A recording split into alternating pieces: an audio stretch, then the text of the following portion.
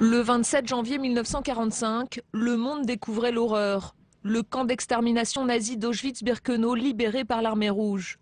Au total, plus d'un million de personnes y ont été assassinées entre 1940 et 1945. 70 ans après, le plus grand et le plus meurtrier de tous les camps d'extermination et de concentration nazis est devenu le symbole de la Shoah. Sous une tente dressée à l'entrée du camp, les commémorations mettaient cet après-midi en avant les quelques 300 survivants, certains arborant symboliquement leur tenue de prisonniers.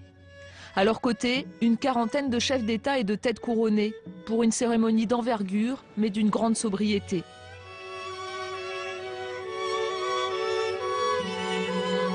Plusieurs anciens prisonniers ont témoigné tour à tour, parfois dans une grande émotion.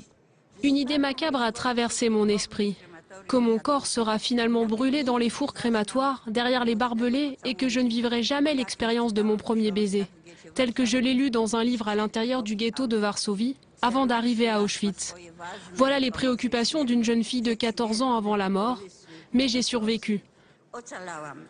À la nuit tombée, les participants ont ensuite traversé les voies ferrées jusqu'au monument situé près des chambres à gaz pour y déposer des fleurs et allumer des cierges en mémoire des victimes.